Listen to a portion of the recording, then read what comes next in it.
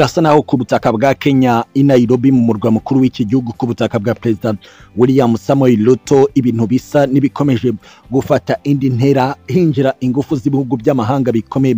Ku butaka bw'iki gihugu haravugwa kuba hari delegasiyo ebyiri iy'Uburusiya ndetse n'iya Leta Zunze Ubumwe za Amerika zamaze kugera ku butaka bw'iki gihugu amwe mu makuru ashimangira neza ko diplomasi ya Kenya n'iya Leta Zunze Ubumwe za Amerika bari gukoranira hafi mu buryo bwihuse kugira ngo batambamire ingufu z'ibihugu birimo Uburusiya n'Ubushinwa kuba zajya ku ruhande rw'abatavuga rumwe n'ubutegetsi bwa Perezida William Samoei Ruto. Amwe mu makuru y'ubutasi aka kanya ari gusohoka mu b'ingenzi muri Kenya nuko etamajoro y'igisirikare cya Kenya yamaze kumenyesha perezida w'iki gihugu akaba umugaba w'ikirenga w'ingabo za Kenya William Samoei Ruto ko kuba hari uruhande rutavuga rumwe n'ubutegetsi ruri kugira imbaraga bishobora guteza akaga gakomeye. Ibi akaba ari byo byatumye ambasade ya Leta Zunze Ubumwe za Amerika ku butaka bwa Kenya yakira abantu babiri bivugwa ko ari abadiplomate ba Leta Zunze Ubumwe za Amerika baje mu kibazo mu buryo bwihutirwa cya perezida William Samoei Ruto n'abatavuga rumwe n'ubutegetsi bwe. Dore ko hari amakuru aganisha ku kuvuga ko uruhande rw'Uburusiya n'Ubushinwa bari inyuma ya Uhuru Kenyatta Raila Odinga n'urubyiruko rwa GNZ ruri kwigaragambya rusaba ko William Ruto asohoka mu ngoro y'umukuru w'igihugu. Tujye kwinjira muri paje eshatu ziremereye cyane kandi zikomeye zifite aho zihuriye. N'iki kibazo cyo ku butaka bwa Kenya. Kuwa kabiri murabizi neza ko ari umunsi bamaze kumenyesha ko bagomba gusubira mu mihanda. Bakigaragambya kandi berekeza ku mihanda igana ku ngoro y'umukuru w'igihugu kwa perezida William Samoei Ruto mu gitondo cy'urukerera.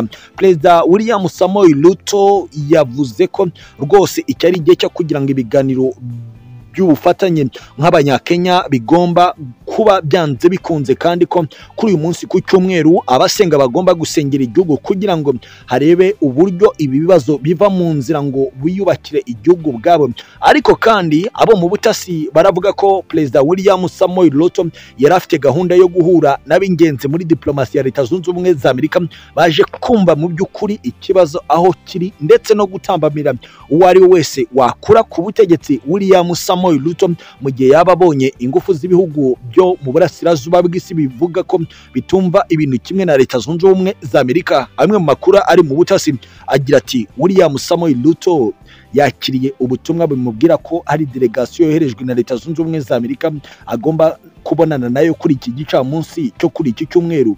Ati yabwiwe ko kandi agomba kugaragaza uburyo bwose ashaka ko ibintu abikoramo ndetse kandi n'ibyo akeka ko bishobora kumufasha guhagarika aya mabi ashobora kuba muri iki gihugu bigenanye n'ingufu abatavuga rumwe nawe bari kugaragaza ndetse n'ingufu z'urubyiruko. Rugaragaza ko rutamwifuza. Amwe makuru y'ubutasi kandi avuga ko perezida William Samoei Ruto agishishikajwe no kureba uburyo yavugana n'abantu birukanywe bakoraga mu nzego z'ubutasi bwa Kenya ku buryo bagaruka nibura bakaziba icyuho. Ati birashoboka ko n'abantu birukanywe mu nzego z'ubutasi kuva William Samoei Ruto yagera ku butegetsi nabo bashobora kugira uruhare kubera ko bazi uburyo bwose amayeri ku makuru y'ubutasi bwa Kenya abonekamo bakaba ayo makuru bari kwifashisha mu gutanga ku rubyiruko rutavuga rumwe n'ubutegetsi bwa William Samoei Ruto ndetse no ku bakuru muri politiki ya Kenya ibishobora gutuma bishobora gutambamira inzira zose z'amayeri perezida William Samoei Ruto yakoresha ati abari bari mu butasi bwa Kenya perezida William Ruto ari kureba uburyo yabagarura vuba na bwangu mu myanya yabo kugira ngo ase n'ugabanya ingufu ku batavuga rumwe n'ubutegetsi bwe kuko abari ku ruhande rwa Raila Odinga na Uhuru Kenyatta baragaragaza ko bafite inzira kandi zikomeye ku buryo biteye n'impungenge ko hari abashobora gukoresha inzego z'igisirikare igipolisi ndetse n'izo mu butasi mu gutuma ingufu nke za perezida William Samoei Ruto n'ubutegetsi bwe zirushaho kugaragara cyane. Amwe mu makuru kandi aravuga ko Uhuru Kenyatta Raila Odinga nabo bashobora kuba ngo masaha makumyabiri n'ane ashize baganiriye kuri telefoni ikiganiro cy'amasaha atatu ariko bikavugwa ko aba bombi bakoresheje telefoni zidashobora kumvirizwa n'ubutasi bwa Kenya ku buryo icyo kiganiro cy'abo bombi giteye inkeke mu mutekano w'iki gihugu gitegetswe na William Samoei Ruto. Amwe mu makuru y'ingenzi ari kuvugwa ariko nta rwego na rumwe rurayagaragaza nuko aba bombi bashobora kuba baragiranye ibiganiro ubwabo ngo barebe icyo bashobora gukora kugira ngo umutuzo uboneka muri iki gihugu kandi byose bikaba byakorwa mu nyungu z'aba bagabo ku buryo nk'abantu bivuga ko bafite ababashyigikiye cyane ndetse no kuba bakisunga uru rubyiruko ruri kwigaragambya muri Kenya bashobora gusubirana ubutegetsi ariko bagashyira imbere Geoffrey Rigati Gachagua akaba yababimburira ndetse no kugaragaza ko ubutegetsi bwa William Samuel Ruto butameze neza ku buryo ibintu bishobora kuba bibi. Noneho kurenza kuvuga ko abantu bari muri guverinoma imwe perezida na visi perezida batari kuvuga rumwe ko ibintu bishobora kuba bibi cyane ku buryo urubyiruko rwajya mu mihanda ku bwinshi bigahatira perezida William Samoei Ruto kwegura akava ku butegetsi maze ubutegetsi bukajya mu maboko ya visi perezida ugomba kuba anafite. Aya maboko y'abantu bakomeye muri politiki ya Kenya amwe mu makuru kandi aravuga ko ku rundi ruhande biri kuvuga ko umubano w'uburusiya n'ubushinwa ku nyungu ibihugu byombi bihurije hamwe ushobora no kugira ingaruka mbi ku butegetsi bwa William Samoei Ruto wagaragaje nk'ushaka kubiyomoraho ahubwo igihugu ndetse n'imikoranire myiza yari isanzwe hagati ya Kenya n'ubushinwa Kenya n'uburusiya ikaba yavaho ubundi igihugu cya Kenya kigasigara mu maboko ya Amerika ndetse n'ibihugu by'abanyaburayi. Nk'uko amakuru ari ku mihanda bivuga gusa ku rundi ruhande hari amakuru ari kuvuga ko uburusiya bwa perezida Vladimir Putin nabwo bwaba bwohereje delegasiyo ariko bikavuga ko iyi delegasiyo itari zinjira ku butaka bwa Kenya kuko bishobora guteza akaga gakomeye ahubwo ko iyi delegasiyo ishobora kuba iri mu bihugu bikikije Kenya ku buryo ishobora kugirana ibiganiro mu buryo bworoshye ndetse no guhanahana. Amakuru n'itsinda ryoherejwe n'Uburusiya n'Ubushinwa bakaba bagira inama batavuga rumwe n'ubutegetsi bwa perezida William Samoei Ruto ku buryo ibintu bishobora kugenda neza. Ariko hakaba hari n'andi mahirwe y'uko perezida William Samoei Ruto nawe ashobora gutegura irindi tsinda rishobora kuganira. N'iri riri koherezwa n'ibihugu birimo Uburusiya n'Ubushinwa kugira ngo barebe uburyo bahuza inyungu ku mpande zombi ngo ibintu bizongere bisubire mu buryo. Ibihugu bijya inyuma ya perezida William Samoei Ruto nk'uko amakuru y'ingenzi akomeza kubivuga. Ariko gato mbere y'uko dusohoka kuri iki kibazo cya Kenya hari amakuru ari kuvuga ko nibura abantu bamaze kumenyekana nubwo inzego z'ubutegetsi bwa perezida William Samoei Ruto zidashaka kubitangaza.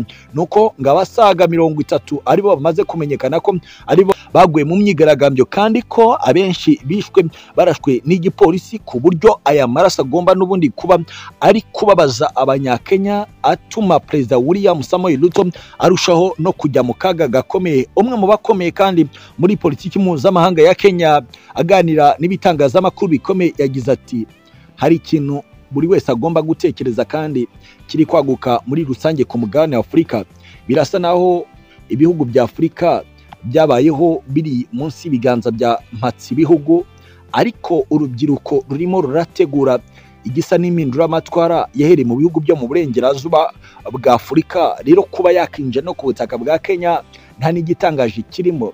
Ntabwo kuvuga ko uyu munsi imbarutso ari iri tegeko ryiga uburyo bwo kongera imisoro ya miliyari ebyiri na miliyoni magana arindwi z'amadolari ya leta zunze ubumwe za amerika ntabwo ari cyo kibazo gusa ahubwo babyongeye ku bindi bintu. Babona ko bakwiye kwigobotora nko kuvuga ko abanyamahanga bari kungukira mu gihugu cyabo kurenza bo ubwabo ko bakungukira mu gihugu cyabo no kubona uburyo imirimo iciriritse nta kintu leta yifasha kugira ngo nibura abo itunze barushaho kugira ubuzima bwiza ahubwo kompanyi nini akaba ari zo zikira cyane kandi z'abanyamahanga. Birasa naho bashaka kugira ngo igihugu cyabo bagiye icyerekezo kandi nabo ubwabo bungukiramo nk'uko amakuru y'ingenzi akomeza kubivuga. Ariko kandi mbere ko rwose twerekeza ku butaka bwa leta zunze ubumwe za amerika reka tubabwire ko ku butaka bwa ukraine urusaku rw'ibiturika rukomeje kumvikana. Ibitero byo kuri iki cyumweru biravugwa ko byaguyemo abasaga ijana na mirongo irindwi ku ruhande rwa ukraine. Andi makuru akanavuga ko mu gace ka odessa neza ku cyambu gikora ku nyanja. Y'umukara igisirikare cy'uburusa cyakomeje kuhababaza gikoresheje ubwato bw'intambara adimiro makarova buri kwasuka misile ziremereye cyane ku buryo hari amakuru aganisha ku kuvuga ko igisirikare cya Ukraine gishobora kuza guhitamo kuvana ibice byose bifite aho bihuriye n'igisirikare. Kuri iki cyambu kubera ko igisirikare cy'uburusa kirimo kirahanegekaza cyane biteye ubwoba nk'uko amakuru y'ingenzi atugeraho abivuga. Ariko kandi reka dusohoke ku butaka bwa Ukraine kwa perezida Volodymyr Zelensky ahubwo twerekeze muri leta zunze ubumwe za Amerika perezida Joe Biden utegetse leta zunze ubumwe za Amerika uva mu ishyaka ry'abademokrate yemeye intege nke z'ubusaza bwe agaragaza byinshi bikomeye. Ese uyu mutegetsi ashobora kuzasimbuzwa kuba yaba umukandida uhagararira abademokrate mu matora yo mu kwezi kwa cumi na kumwe. Perezida wa leta zunze ubumwe za Amerika amakuru aravuga ko rwose nawe abona ko imbaraga zimaze kumubana nke cyane.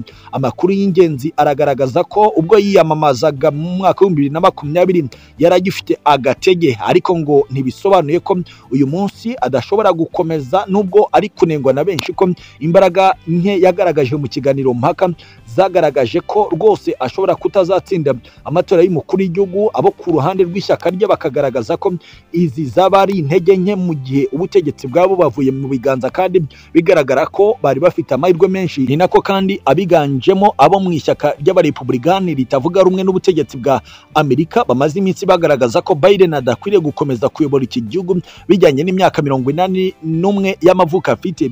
Nyuma y'ikiganiro mpaka perezida Biden yatangarije abamushyigikiye muri leta ya North Carolina ko Trump ari umubeshyi kandi ko yagerageje guhungabanya demokarasi ya Amerika ubwo ku ngoro y'inteko ishinga amategeko haberaga imyigaragambyo yamagana ibyavuye mu matora mu kwezi kwa mbere k'umwaka w'ibihumbi bibiri na makumyabiri na rimwe. Perezida Biden yagize ati Trump yavuze ko nakubye umusoro inshuro enye ese ubwo bwari mu kwe kuzimu nabikoraga? Icyo ni ikinyoma cyoroshye. Nta muntu nigeze nzamurira umusoro muri amerika yinjije amadolari ibihumbi magana ane ku mwaka kandi sinzabikora muri manda ya kabiri. Perezida Biden yabwiye abamushyigikiye ko atakiri muto kandi ko atagifite imbaraga zo kujya impaka nk'uko byahoze kera na kose. Ati nzakora ibishoboka byose kugira ngo ngere ku byangombwa abanyamerika bakeneye ariko si ngombwa ko tugaragaza imbaraga dufite. Trump we arabizi ko ari umubeshyi ati ndabizi ntabwo ndi muto. Mbivuze nta guca ku ruhande. Ndabizi rwose ntabwo kugenda binyorohera nka mbere. Ntabwo mvuga neza nk'uko byahoze. Ntabwo njya impaka nk'uko byahoze. Ariko icyo nzi cyo ni uko nzi kubabwiza ukuri. Nzi gutandukanya icyiza n'ikibi. Nzi uko nakora akazi nzi uko nashyira ibintu ku murongo. Uyu mukuru w'igihugu cya amerika kandi yakomeje agira ati nzi icyo byasabye kugira ngo dukure ubukungu bwacu mu ndiba bwashyizwemo n'icyorezo bugeraho buri uyu munsi. Ku bukungu bwa mbere ku isi nzi icyo bisaba kugira ngo ubukungu bugere kuri buri wese. Barack obama wabaye perezida wa amerika nawe arabizi. Ariko kandi ku rundi ruhande uyu barack obama wageze ku butegetsi mwaka w'ibihumbi bibiri n'icyenda kugeza mwaka w'ibihumbi bibiri na cumi na karindwi yatangaje koko biden yarushijwe imbaraga na trump. Muri iki kiganiro mpaka ariko ko aho kugira ngo abanyamerika batore umunyapolitiki ubeshya batora uyu musaza kiri kwibazwa ni ukumenya niba ishyaka rya Biden rishobora kumusimbuza undi mukandida na cyane ko hari ibimenyetso byinshi byerekana ko ashobora gutsindwa na Donald J. Trump bijyanye cyane cyane n'imyaka ye. Bamwe mu batera inkunga ibikorwa bya Biden byo kwiyamamaza batangaje ko batumva uburyo uyu mugabo ashobora kwigobotora Trump ndetse bamwe muri bo nk'uko amakuru abivuga bakifuza ko yasimbuzwa hakiri kare mu rwego rwo kwirinda ko Trump yakongera gutegeka iki gihugu. Ni byinshi cyane bikomeye byose biri ku mutekano politiki na diplomasi. Mu rwego mpuzamahanga asantene sana icyumweru cyiza inshuti z'akadasoka zacu. Nibyo perezida william samuel ruto ku butaka bwa kenya mwabyumvise ko ariho twinjiye. Yamaze kuvumbura amwe mu makuru akomeye kandi y'abari kumugambanira bamuzengurutse. Amwe mu makuru aremereye cyane agiye hanze bikozwe na african intelligence. Iki ni igitangazamakuru gikora amakuru y'ubutasi ku mugabane wa afurika agize ati leta ya kenya ikuriye na perezida william samuel ruto uturuka mu bakaranjini we n'abamukikije bumvikana kuri buri kimwe. Bamaze kuvumbura ko visi perezida wa kenya geoffrey rigate gacagua uturuka mu muryango w'abakikuyu bakomeye. Umuryango wiganjemo abagize cumi na karindwi karenga ku ijana by'abaturage bose ba kenya. Yaba ari inyuma y'ibikorwa byose ku gutera inkunga ndetse n'abava muri uwo muryango w'abakikuyu ku gusaba urubyiruko kwinjira mu mihanda kugira ngo beguze perezida william samoei ruto ubutegetsi busigare mu biganza bya geoffrey rigati gacagua aya ni amakuru aremereye kandi ni amakuru akomeye atangiye kugera hanze asobanura byinshi. Amwe mu makuru avuga ko kuva ku butegetsi bwa jomo kenyatta umukikuyu mwai kibaki umukikuyu perezida uhuru kenyatta umukikuyu byari bibaye ibindi bindi ubwo perezida william samoei ruto uva mu muryango cyangwa se mu bwoko bw'abakarenjini yarafashe ubutegetsi. Gusa n'ubundi ibyo bari bamwitezeho ntabwo ari byo yakoze. William samoei ruto yatangiye gukubita inkota mu muryango w'abakikuyu ku kugabanya agaciro n'icyubahiro bafite imbere mu gihugu. Ibi ni byo bisa n'ibyamukozeho cyane. Amwe mu makuru aremereye cyane ava mu butasi arerekana neza ko geoffrey rigati gacagua arimo arakoresha igisa n'ubugi bubiri. Kwereka william samuel ruto ko bari kumwe ariko ku rundi ruhande agakomakoma akegeranya ubushobozi butera inkunga ndetse n'ijambo mu gisirikare igipolisi mu butasi kugira ngo bashyigikire urubyiruko gnz kwigaragambya kandi bakagera ku ntego za nyazo zo kwerekeza hanze y'ingoro y'umukuru w'igihugu perezida william samuel ruto kugira ngo ubutegetsi busubirane ba nyirabwo. Amwe mu makuru aremereye cyane kandi akomeye ko perezida william samuel ruto akimara gutanga itegeko ry'uko hafungura urusaku rw'ibiturika amasasu ya nyayo ku rubyiruko ruri mu myigaragambyo abantu bakatakariza ubuzima ari bwo ibintu byatangiye kuba bibi ndetse n'amakuru agatangira kumenyekana ko geoffrey rigate gacagua atari kumwe na perezida william samuel ruto bafatanyije urugendo rwo kuyobora iki gihugu. Amwe mu makuru aremereye cyane kandi akomeye agira ati geoffrey rigate gacagua amakuru arerekeza ku kuvuga ko hari interuro enye zikomeye yabwiye uhuru kenyatta. Ati ibyo wambwiye ndabizirikana kandi tugomba kuruhuka ariko tubigezeho. Indi ati umugambanyi uyu agomba kubabazwa byanze bikunze. Indi ati uhuru umugambi wanjye nawe urawuzi. Tugomba gusigarana icyubahiro ntikijye mu bagamije ikibi ku muryango wacu mugari. Indi ati birashoboka ko mama ngina arakaye. Ariko vuba arongera kumwenyura kubera inkozi y'ikibi igomba kumva uburibwe ikemera kumanika amaboko cyangwa se igafatwa mpiri ikerekezwa mu buroko kubera kudashyira mu bikorwa ibyo yasezeranyije rubanda. Ndabizi neza ko mu ishyaka uda hari ibyo twemeranijeho ariko birasa naho ashaka gukora ibigize intekerezo ze gusa. Aya ni amagambo akomeye. Ubutasi buri kuvuga ko visi perezida wa kenya rigati geoffrey gacagua yoherereje uwahoze ari perezida w'iki gihugu uhuru kenyatta wanasimbuwe. N'ubutegetsi buriho bwa william samuel ruto. Biragaragara ko uyu mugabo utegetse kenya umukaranjini ashobora kuba rwose ari mu mazi abira bigendanye n'uko abakikuyu basa n'abamaze kurakara. Gusa igiteye impungenge kandi gikomeye ni uko urubyiruko ruri mu mihanda ruri mu moko atandukanye. Ibigaragaza ko umugambi wa visi perezida wa kenya n'abandi bakikuyu ushobora kuba waragezweho. Ati aba bafite amafaranga menshi ntacyo batagura muri kenya. Ntacyo bashaka kugeraho ntibakigereho. Icyo bifuza bagomba kuruhuka bakigezeho. Niba perezida william ruto ari kwemera kumanika amaboko ariko ntabwo ibyo bihagije kuko intebe yicayemo irashakishwa mu muryango w'abakikuyu kandi geoffrey rigard gacagwa agomba kwinjiramo byanze bikunze. Amwe mu makuru avuga ko perezida william samuel ruto yamaze nawe gusaba imbabazi abo mu muryango w'abakikuyu bakuru ababwira ko iki ari igihe cyo kugira ngo bakore ibikorwa bisa mu bwubahane cyangwa se bahombe kenya bayishore mu muriro utazima kugeza ubwo ibi bigomba kuzamuka cyane. Amwe mu makuru kandi ari mu rubyiruko rwa GNZ avuga ko kuwa kabiri w'icyumweru gitaha umuriro ugomba kongera kwaka ku kwinjira mu buryo bwo ku ngufu muri perezidansi y'iki gihugu cya Kenya. Gusa ku rundi ruhande hari umwe mu banyamakuru bakomeye.